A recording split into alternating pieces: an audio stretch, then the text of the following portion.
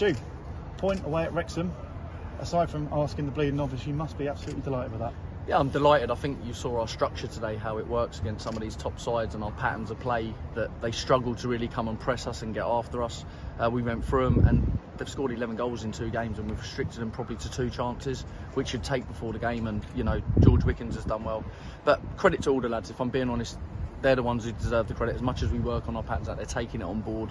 And I think, like we said earlier in the season, we're getting better and better as a team. Game by game, we're getting better and better because we're learning on the job, and that's it. We have limited sessions to work on stuff, but we're learning on the game, and the lads are taking it on, on board. It's, it's been good. Really Yeah. good performance today. And that's three clean sheets in a row. So defensively, we're, we're looking really good. And the uh, Jaden Sweeney came in today. How did you think he got on? I thought he, for, for a debut, for, for a lad that's not played probably for a long time, he played in the Carabao Cup or one of those Papa John's Cups, whatever it was. That's the last time he played to come in and perform at the intensity that they come at you at. I thought it was brilliant from the kid. Uh, we look, we, we try and research and watch all the players that we bring in. Uh, we've been a little bit unlucky with a few niggles here and there, but it's what you expect in this league. I think we've coped with it well. We've picked up another one today with Nick.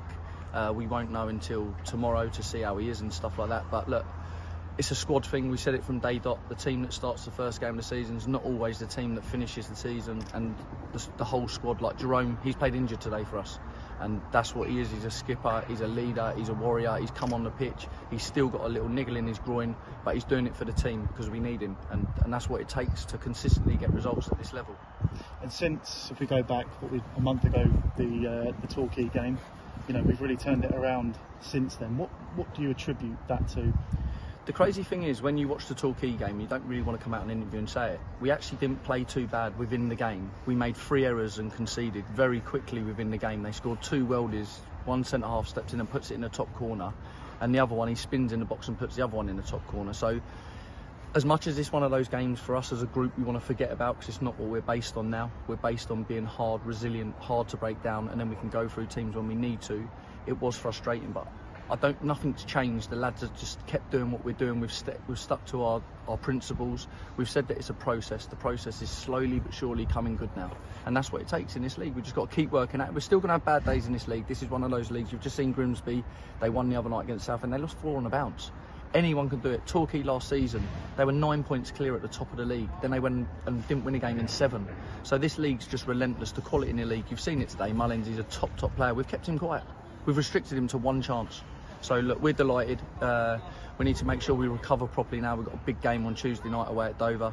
So you know, and this is the tough thing now. There's no real prep time for us because we're back. The lads are being work on Monday, recovering, and then we're at the game Tuesday. So look, it, it's a big game, and we're looking forward to it. Are you daring to, to dream about looking up rather than down? Look, I think no one wants to look down. You always want to look up. We set a points target for the lads, and if we're on track, and that's all I can say at the minute. We are on track. The lads are performing to a very high standard at the minute, like you've just said. What's that? Six clean sheets, six or seven clean sheets now in this league. It's incredible, and that's what it takes in this league. You've got to keep clean sheets, and that's what we're doing. And Stu, on a personal level, you're 200 and 250 Wealdstone fans singing your name at the final whistle. How are you? I'm how pr- are you it's, it's proud. job? I love it. Uh, I think the fans have been incredible. I think we had a, a very sticky game against Dagenham, which I get everyone's frustration. But what everyone's got to understand, we're frustrated. We don't want to play like that. We don't want to concede two late goals. We don't. We're all frustrated in games like that, but we've just all got to stick together. Like the other day at Barnet at home, the atmosphere is incredible, and that atmosphere probably gets us to win 1 0 because we were poor on the day. It was a poor game, it was a scrappy game, we weren't great. But you need the fans behind us and really behind us. And today, there's 8,000 here, but you can hear our fans constantly from minute one to the 95th minute, 96th minute, whatever it was. And that drives the lads on. That's when the lads are tiring. That makes that little bit extra to sprint back in their shape. So we need them. We're all in it together and we've got to be in it together. People say the 12th man, we've just all got to be in it together.